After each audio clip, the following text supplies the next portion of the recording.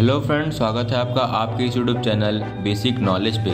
Friends, आज हम जिस टॉपिक के बारे में पढ़ने वाले हैं, वह सोडियम फ्लोराइड के बारे में तो इसका जो केमिकल फार्मूला होता है एन ए एफ़ एंड इसका मॉलिकुलर वेट होता है 41.99 इसका प्रिपरेशन देखते हैं। तो it may be prepared by neutralizing hydrochloric acid with sodium carbonate hydrofluoric acid को जब सोडियम कार्बोनेट के साथ रिएक्ट करते हैं, तब हमें सोडियम फ्लोराइड प्राप्त होता है और हमें वाटर और सी गैस भी प्राप्त होती है।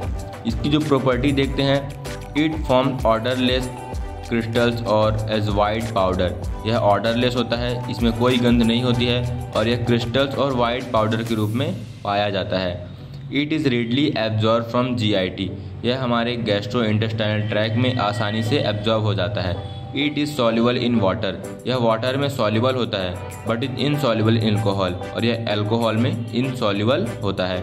अब हम इसके यूज़ देखते हैं। तो sodium fluoride due to its fluoride ion is an important agent in dental practice for retarding और preventing dental carrier sodium fluoride का जो फ्लोराइड आयन है, वह हमारे डेंटल के लिए एक एजेंट का कार्य करता है और हमें दंत क्षय से बचाता है।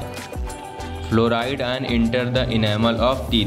Fluoride ion जो है, हमारे दांत के इनेमल में इंटर करता है and become part of enamel structure and this become effective और हमारे इनेमल के लिए इफ़ेक्टिव होता है। Fluoride gets absorb slowly from gum.